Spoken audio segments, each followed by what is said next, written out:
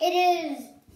Uh, the illustrations are good, and because the characters are nice, and it really makes your eyes glue to the pages, and it's really a good book because it includes Christmas and a dinosaur, and the only dinosaur on Earth, which is the Christmasaurus.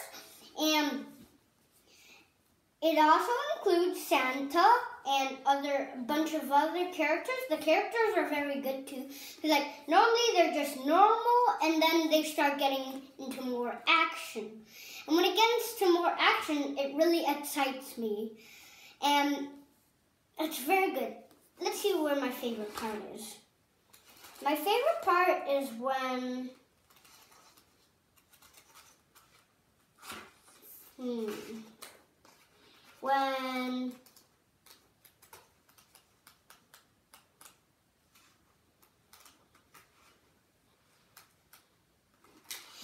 This page.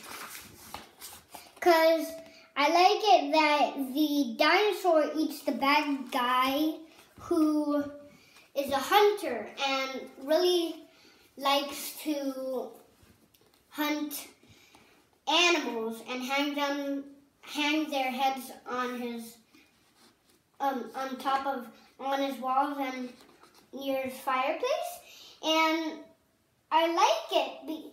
I like the um, characters. They are very nice and first nice and I think that this book is good because the the um, the words are beautifully made, written, and it's very like a good book.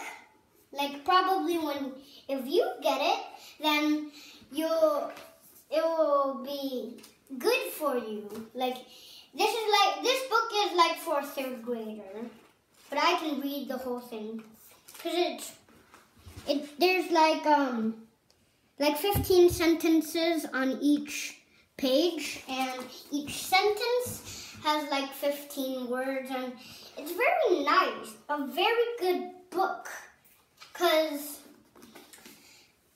it's mm, it's a good book because like the pictures are good, the writing is good, the colors are nice, like the the Christmasaurus on the cover Go to your room. shows that it is You're too loud. Can you go to your room, Brandon? No, I can't. Stop it, Ryan. Go to your room. I can't. And I, I um where was I? The colors are good because like they're very bright and colorful when you want them like to be. I I let's read the the back. It says, "Well, bless well bless my Kringles," Santa said with a tear in his eye. It's a baby dinosaur.